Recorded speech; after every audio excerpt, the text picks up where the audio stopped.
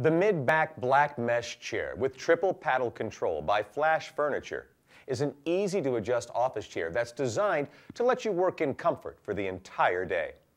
The ventilated mesh back provides airflow and good lumbar support while the seat is thickly padded with high density fire retardant foam for comfort.